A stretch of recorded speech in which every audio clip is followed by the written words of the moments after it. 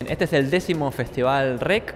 Este año tenemos la particularidad de que vamos a hacer la apertura proyectando dos cortometrajes que fueron producidos el año pasado en el marco del festival. Así que estamos muy contentos porque es la primera vez que el festival también está produciendo, no solamente exhibiendo. Hay dos competencias de cortos que son como la, digamos, el evento principal del festival, que son la competencia latinoamericana y la competencia federal, ambas competencias para estudiantes de cine. Este año tenemos más de 60 cortos en competencia eh, de más de 25 escuelas de cine de toda Latinoamérica. Los esperamos a todos y todas los que quieran venir a ver los cortos ganadores y además eh, el homenaje que vamos a estar haciendo a Evita con, con material inédito. Eso es el sábado a las 7 de la tarde acá en el auditorio de la Facultad de Bellas Artes.